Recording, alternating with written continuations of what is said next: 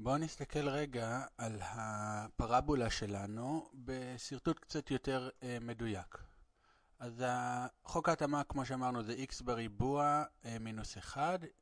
כאן אה, זה 2, אז 2 בריבוע פחות 1, 2 בריבוע זה 4, פחות 1 זה 3. אז הגובה שמותאם פה, התמונה, זה 3. אם נגיד נשים את זה על 1, אז 1 בריבוע זה 1, פחות 1 זה 0. אפשר להמשיך להזיז ל-0, 0 זה 0 בריבוע 0, מינוס 1, אז זה מינוס 1.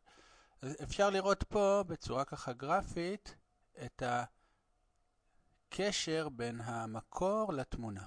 אפשר פשוט להזיז את זה ו...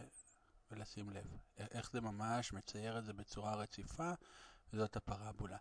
וכמו שרואים, בקטע הזה, ככל שאני ככה מגדיל את המקור, דווקא התמונה נעשית יותר קטנה ויותר קטנה ויותר קטנה ויותר קטנה. כאן היא מגיעה למקום הכי נמוך שהיא יכולה להגיע, זה מינוס 1, כשהמקור הוא 0. כשהמקור הוא 1, התמונה נהיית 0. כשהמקור 2, התמונה נהיית 3. מקור 3 זה כבר 8. אפשר לראות את זה כאן, שמקור 3 התמונה היא 8 וכולי. אז כמו שאתם רואים, התמונה הזאת היא ככה במבט אחד נותנת לנו איזשהו מידע רב על ההתנהגות של הפונקציה כולה.